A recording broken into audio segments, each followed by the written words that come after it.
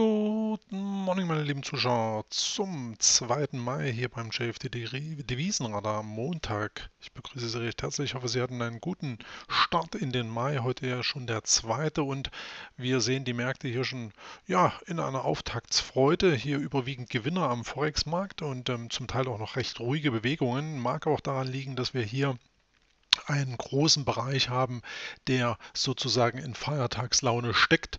Das wird auch die Woche noch ein Stück weit uns begleiten, aber heute Großbritannien, China, Hongkong und auch Russland sozusagen hier in einer ähm, Feiertagspause mehr oder weniger. Das heißt, wir haben hier nicht ganz so viel Kapitaleinfluss, wie man sich das gern wünschen würde.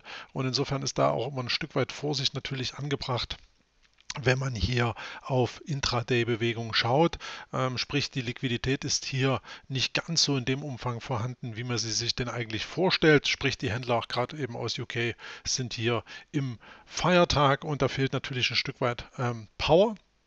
Überdies dann auch noch äh, in den kommenden Tagen ähm, neben Russland auch noch Japan hier mit Feiertagspause. Also da muss man mal sehen, was die Woche noch so passiert. Wir haben ja am Donnerstag ähm, auch sozusagen Christi Himmelfahrt, was natürlich dann dazu führt, dass dann auch im europäischen Raum, hätte ich jetzt mal fast gesagt, hier eben der Handel ruhiger ist, wenngleich natürlich regulärer Xetra-Handel und natürlich auch Forex-Handel stattfinden wird aber unter Umständen eben ein Stück weit eingeschränkt. Gehen wir aber mal auf das britische Pfund gegen mit dem Schweizer Franken oder auf das Währungspaar viel mehr ein. Wir hatten das in der letzten Woche am 26.04. gecovert. Ähm, hier die große Situation auch damals äh, bewertet in Sachen Fehlausbruch nach unten, Comeback und jetzt stehen wir hier im Wochenchart-Intervall, wir machen es direkt mal groß, ähm, ja, vor einem Widerstand, den wir interessanterweise in der letzten Wochen, Woche hier punktuell touchiert haben. Der Preis kam von diesem Niveau zurück und jetzt hängen wir mehr oder weniger hier in dieser Spanne die zunächst auf Wochenbasis erstmal beobachtet werden sollte. Also mittelfristig mit Blick auf einige Wochen muss man abwarten, ob das Währungspaar hier nach oben rausziehen könnte. Dann hätte man hier ein weiteres ähm, Erholungssignal. Ähm, gehen wir hingegen hier nochmal deutlich unter 1,38, dann muss man davon ausgehen, dass die letzten Tiefs mit Sicherheit angesteuert werden. Das hier so mal der Blick auf den Wochenchart. Im Tageschart sieht es auch nicht weniger uninteressant aus, denn hier am 26. hatten wir schon die starke Kerze, die sich hier diesem Widerstandsbereich näherte, so um 1,4175, 1,42, diese Zone hier fast schon noch 1,4250 sozusagen als Idealmaß eines Spikes. Den hätte ich eigentlich gern noch gesehen. Damals verwiesen wir auch auf den ADX, der hier ja ein gewisses Extrema aufwies. Das will ich Ihnen auch gleich nochmal vorführen. Sprich hier die Trendstärke, die war schon relativ gereift, keine Frage. Trends können sich da auch weiter uneingeschränkt fortsetzen, aber hier beim Forex Bull sind dann immer signifikante Werte über 60 und das hatten wir eben hier letzte Woche zur Vorsicht angebracht und tatsächlich, wir sehen hier so einen kleinen Umkehrimpuls und dann ging es ja auch tatsächlich während der letzten Woche dann nach unten. Allerdings eben auch nur temporär, wenn man es mal so sagen will. Sprich, wir haben hier ähm, nach der Schwäche vom 26. oder nach der Erholung vom 26. nach der Fortführung vielmehr dann eine Schwäche am 27. gesehen und dann tropfte das Währungspaar sozusagen zum weiteren Wochenabschluss nach unten, ähm, eröffnet dann sogar hier noch ein Stück weit tiefer mit einem Gap Down. Das ist allerdings schon wieder geschlossen worden. Und jetzt sehen wir hier einen Erholungsimpuls, der auch durchaus gemutmaßt wurde. Eigentlich, wie gesagt, ein Touch von 1,4250 wäre hier ein ideales Short-Level gewesen.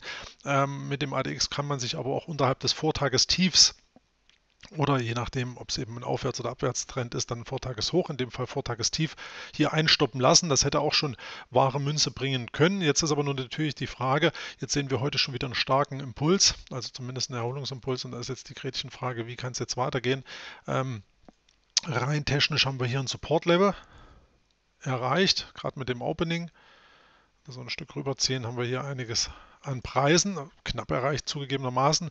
Und jetzt sollte man Obacht geben, wie sich das Währungspaar weiter verhält. Kurzfristig kann es hier sich schon um ein Ende der Konsolidierung handeln.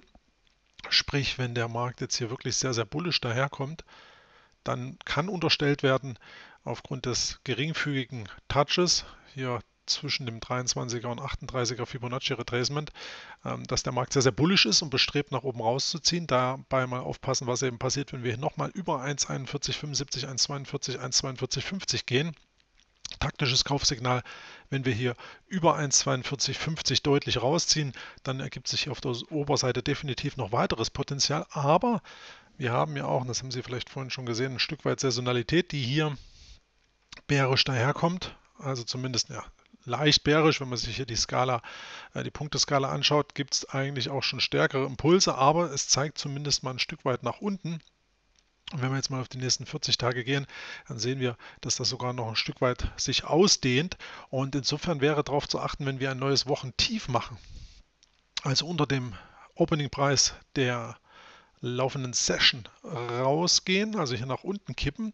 Auch hier die zwei kleinen Durchschnitte, wir haben hier den EMA 50 und EMA 20, die sind ja auch schon à la Rainbow sozusagen negativ aufgefächert. Wenn das hier dazu kommt, dass der Preis hier nochmal nach unten kippt, eben hier speziell unter 1,3920 etwa, speziell eben hier unter 1,3960 dem Opening der Woche, dann ist es hier tatsächlich so, dass der Markt hier nach unten dann weiter kippen könnte, weiter kippen dürfte. Und dann hätte man hier auf jeden Fall noch Luft bis 1,3720 und drauf bezogen auf den Wochenchart wäre dann sogar eben noch Potenzial bis zu den letzten Tiefs.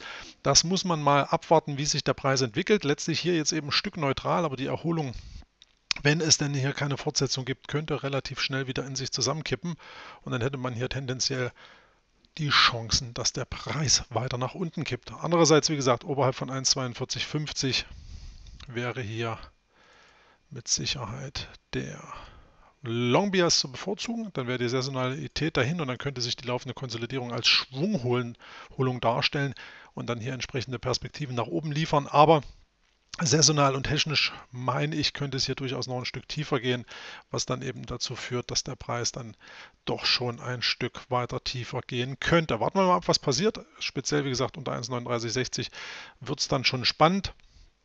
Und insofern das mal die Einschätzung zum britischen Pfund gegenüber dem Schweizer Franken zum Wochenstart. Ansonsten mal sehen, ob die Woche überhaupt noch richtig was geht. Feiertagsbedingt, wie gesagt. Aber wir haben ja auch die Non-Farm Payrolls am Freitag wieder. Der Euro-US-Dollar hier auch sehr, sehr spannend, weil er sich hier genau in der Widerstandszone bewegt. Den wollte ich jetzt zum Wochenauftakt nicht unbedingt covern weil ja am Freitag schon im Fokus gehabt, aber wir werden mal sehen, wie der sich jetzt hier noch in den nächsten Stunden bis morgen mausert.